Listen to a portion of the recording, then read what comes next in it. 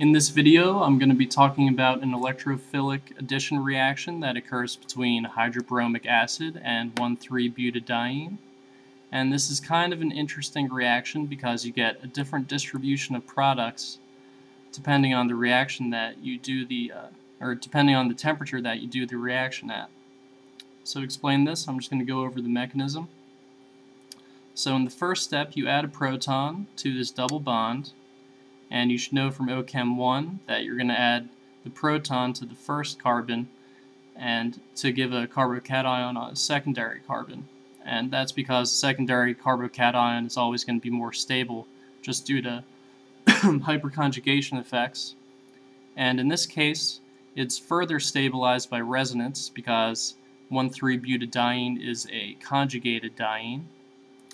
So you can see here that you're going to get either the 1,4 product or the 1,2 product, depending on whether the free bromide ion attacks carbon 2 or carbon 4. And to figure out which one is going to attack, we're going to look at a potential energy diagram. And you can see here that we're going to have a lower activation energy for the kinetic product, they call it, the 1-2 addition product. And the reason for that, you can tell just by looking at the transition states. So, as you can see, the transition state for the 1-2 product has a partial positive charge on a secondary carbon, which is going to be more stable than the transition state for the 1-4 product, where you have a partial positive charge on a primary carbon. And I think that's pretty straightforward actually.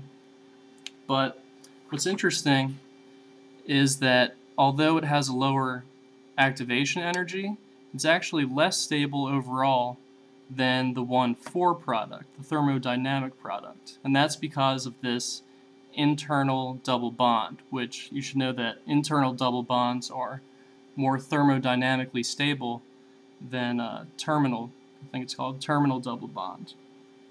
So pretty much what happens is this whole reaction, the whole reaction is reversible. So at really high temperatures, you're going to end up with a majority of a thermodynamic product because even though you're going to end up initially with a lot of the kinetic product, you're going to have enough energy to go back to reform the carbocation and then you'll have enough energy to finally make it over here up to the transition state for the 1,4 product and end up here and then it'll be more likely that because this is more stable you won't have enough energy to go back up this energy hill to undergo the reaction again. So at lower temperatures you end up with a kinetic product because it has lower activation energy but at higher temperatures you end up with a majority of the thermodynamic product because you have enough energy to create this more stable product.